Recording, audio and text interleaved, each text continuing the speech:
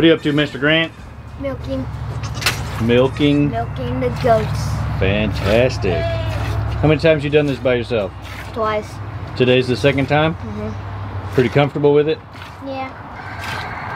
Hard job, easy job? Mm, hard and easy at the same time. Yeah. What's hard about it? Lola. Lola. Where is she? Lola, the herd queen. She makes things difficult. Uh-huh. Luna, she's over here chewing on my pants. Yeah. And Mr. Willie here. Mr. Willie. Yeah, he's had to compete. His mama had triplets. He's been uh, getting the short end of the stick when it comes to milk. We've been allowing him to nurse on some of the other mamas to make sure he's getting plenty of milk. Right, Loretta? She's contributed. Thank you, sweetheart. All right, time to feed everybody.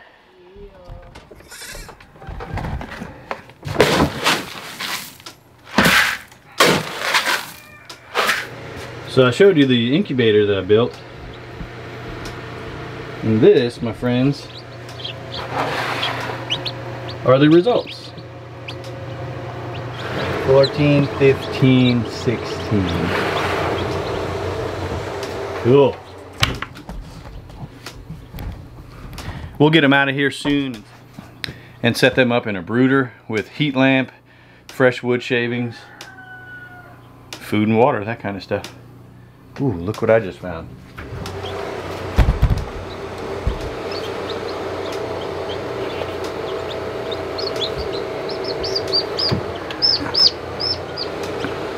Hey, buddy. What are you doing all the way down there?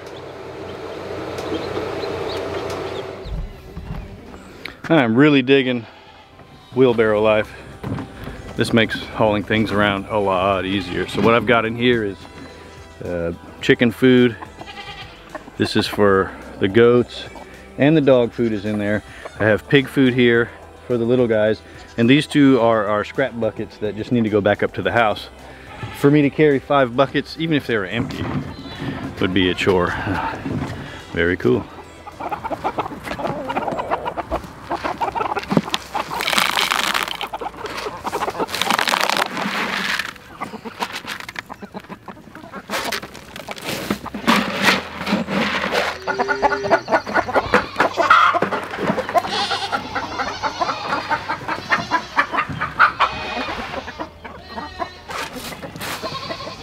Happy birds.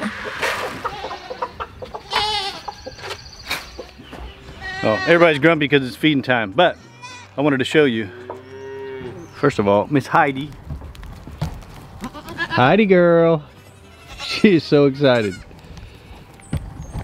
Anyways, so I moved the goat fence, not very much, but you can see this is where they were and they have cleared out the forest here pretty well. And we moved them to just the very next spot. And you can see how green this is and they've actually done a pretty good job of it yesterday, clearing it out.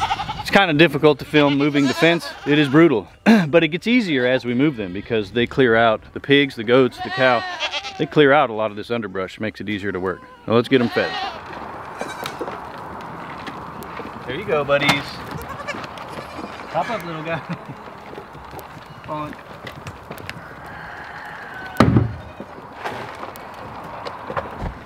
And Miss Heidi, she's just in the mix. She's so funny. She just hangs out. Everybody wants to be her friend, at least she thinks, while they're eating. They're not running away from her or ramming into her.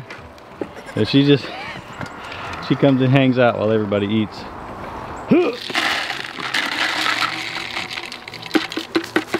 You guys don't like this stuff.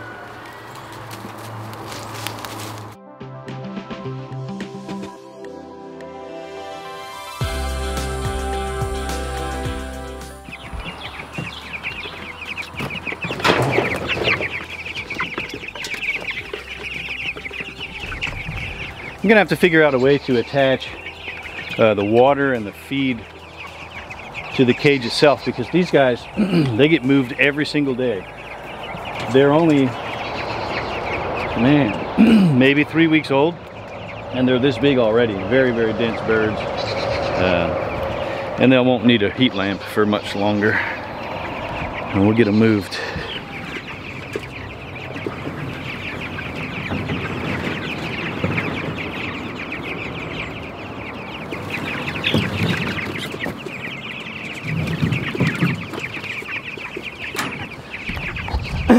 All right, so we're just gonna make sure we didn't squish anybody. Sometimes they get trapped. Everybody looks happy.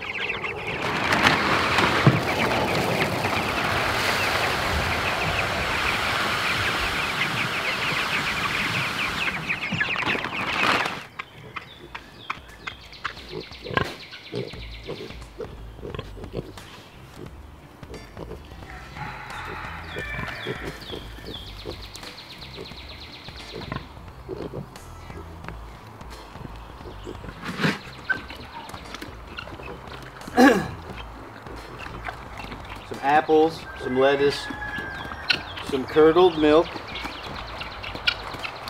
and some grain. She's a happy, happy girl. We'll get them all moved here pretty quick. We want to put them in here for uh, safety when they're really young and also teach them how this electric fence works so when we move them out in the woods they don't run out and get got. You're getting big, y'all. Thanks, Miss Sasha.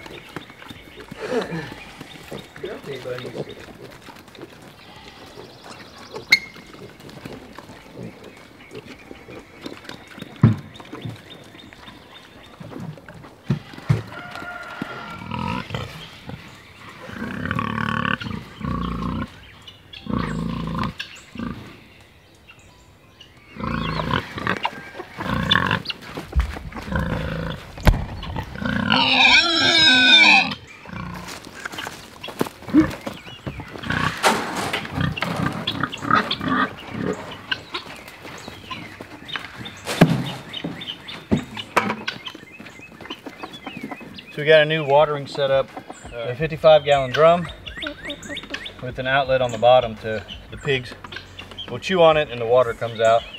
We'll set it up on this stand here so it's elevated and we'll actually bury that in the ground about a foot to prevent them from knocking it over because they will. We're also going to set it up against a tree, run a ratchet strap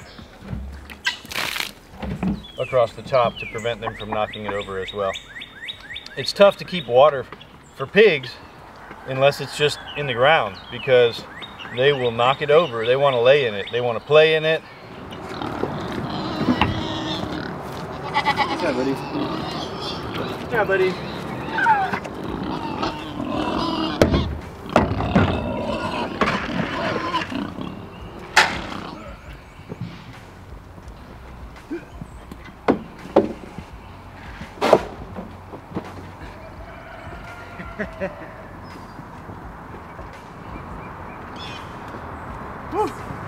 I almost forgot to tell you, yesterday,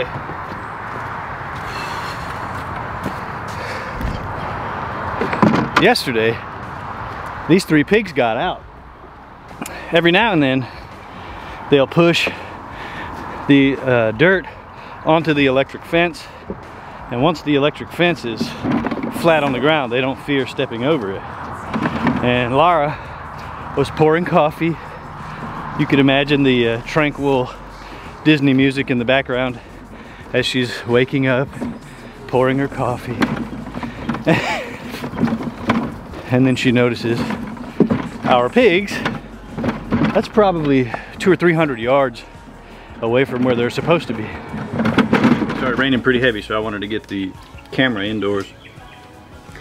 Um, but what I was saying is it wasn't really a big deal getting the pigs back to where they needed to go because we worked really hard around here, uh, spending time with our animals, uh, letting them know where the food comes from, um, and as silly as it sounds, uh, making the same sounds over and over and over again. Uh, when Lara wants goats, she says, come on goats. Uh, when I feed pigs, I, every single time, pig, pig, pig. And I get a little grief for singing to my pigs. But the reality is, is yesterday they were hesitant to follow Lara with the pig, uh, with the food bucket. But as soon as I stepped outside and started saying pig, pig, pig, uh, they ran to me and they followed me all the way back down uh, to where they were supposed to go. We fixed the fence and the rest is history. But as you're raising animals, uh, as silly as you might feel, create routine and similar sounds, similar actions and behaviors, and these animals will do just about whatever you want them to. Even when they escape, they don't want to go anywhere. They like you feeding them easy food. And dare I say, they might even like you. Probably not.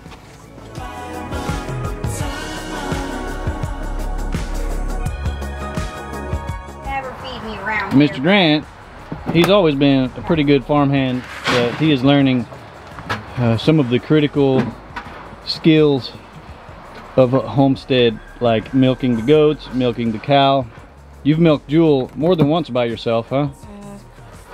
About four times. Four times? And you said today was your second time milking the goats by yourself? And Cool. he did a great job. Yeah? I'm very okay with uh, what he's bringing up as far as quantity of milk. And they're getting used to him. Those goats aren't real nice to people that are new. um, Hey, buddy. Hi. my little buddy here comes for his lovin's in the mornings. Mm-hmm. You see him, guys? Yeah. Um, but Grant's doing a good job with goats. I'm thankful to have backup since our farmhand moved out.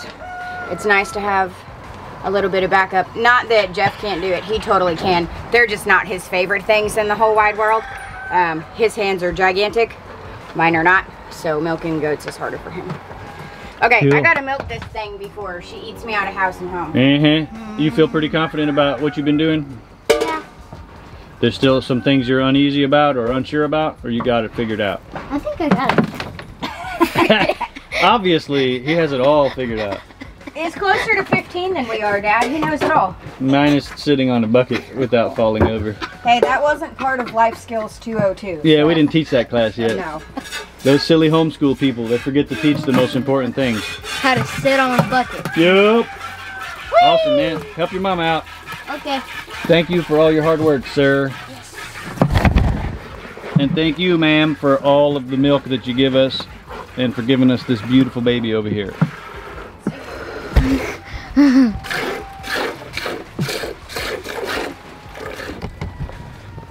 All right, so all of this is what happens before we eat breakfast.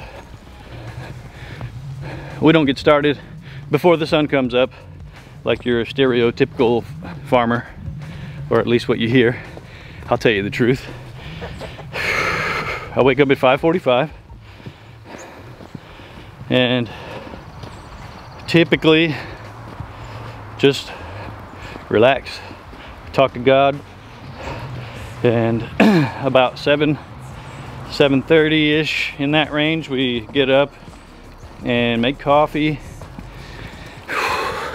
Sometimes we eat breakfast that early, but most of the time we just spend time together as a family and kind of wake up and get rid of any grumps if we need to.